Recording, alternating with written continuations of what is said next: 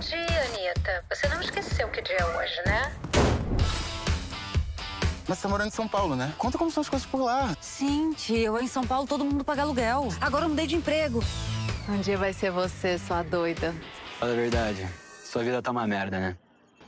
Anitta, o que que tá acontecendo? Se eu pudesse dar um Ctrl Z na minha vida, eu faria tudo diferente.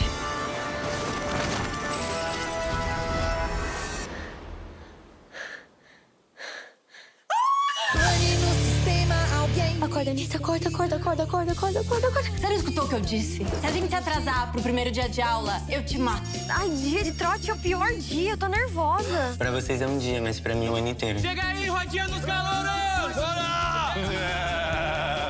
Pior dia da minha vida de novo, não. Sabe o que a gente acha de você? Não. E nem quero saber.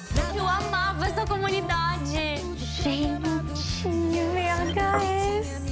Cara, eu tenho 30 anos. O que, que eu faço agora? Mente eu sei o que vou fazer.